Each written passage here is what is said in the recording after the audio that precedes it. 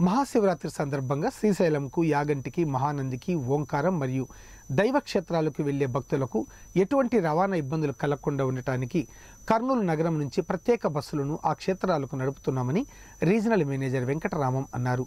ఆయన తన ఛాంబర్లో తెలుగు టీవీ వన్ టీవీతో మాట్లాడుతూ మహాశివరాత్రిని పురస్కరించుకొని భక్తుల సౌకర్యార్థం ఆర్టీసీలో ప్రయాణించిన వారికి శ్రీశైలంలో దర్శన భాగ్యం కూడా కలగజేస్తున్నామని తెలిపారు. భక్తులు ఆర్టీసీలో ప్రయాణించి ఈ అవకాశాన్ని సద్వినియోగం చేసుకోవాలని తెలిపారు. దర్శనం కోసం వచ్చే భక్తుల కోసం ఆర్టీసీ బస్సులలో ఛార్జీలను కూడా పెంచకుండా గత సంవత్సరమే వసూలు చేసిన ఛార్జీలను ఈ సంవత్సరం కూడా వసూలు చేస్తున్నామని తెలిపారు. ఆర్టీసీ సంస్థ ప్రజలకు ఎన్నో సేవలు చేస్తుందని వాటిని సద్వినియోగం చేసుకోవాలని ఆయన తెలిపారు.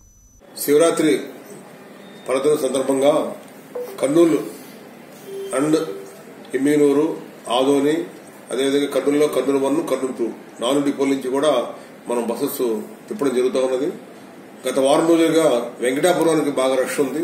సో వెంకటాపురం వరకు ఈ బస్సులు తిప్పడం జరిగింది. అక్కడ చాలా మంది మనకు తెలిసిందే. చాలా మంది నడుచుకుంటూ వారు అడవి మార్గం ద్వారా మన గుడికి వెళ్తూ ఉంటారు. ఇప్పుడు ఆ రష్ తగ్గింది. ఇప్పుడు అన్ని కూడా శ్రీశైలంకే చాలా బస్సులు ఏర్పాటు చేయడం జరిగింది. మనం అంచెలంచెలుగా బస్సులు పెంచుకుంటూ పోయాం.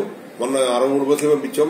నిన్నైతే నూట యాభై బస్సుల వరకు శ్రీశైలంకి ట్రాఫిక్ ఉంది. మన ఈ నాలుగు గురించి కలిపి మీరు నూట అరవై బస్సులు పైకి పంపడం జరిగింది. ఈ రోజు కూడా చూసుకుంటే ఉదయం రెండు గంటల వరకు కూడా ఇంచుమించు నూట తొంభై బస్సులు మన కర్నూలు బస్ స్టాండ్ నుంచి శ్రీశైలం పోవడం జరిగింది.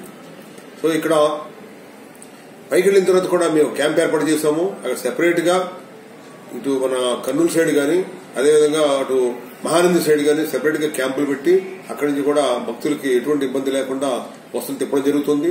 మరీ రష్ ఎక్కువ ఇబ్బందిగా ఉంది అనుకుంటే అక్కడి నుంచి మేము కొత్త ప్రతిపాదన ఏం చేస్తామంటే అప్ టు దోనాల అంటే కొండపై నుంచి దోనాల వరకు వస్తువులు తీసుకొస్తే అక్కడి నుంచి బస్సెస్ ఎక్కువ ఉంటాయి. మన విజయవాడ నుంచి వచ్చే బస్సులు కానీ ఒంగోలు నుంచి వచ్చే బస్సులు కానీ ఉంటాయి కొన్ని డైరెక్ట్గా వచ్చే బస్సులు ఉంటాయి దాంట్లో కూడా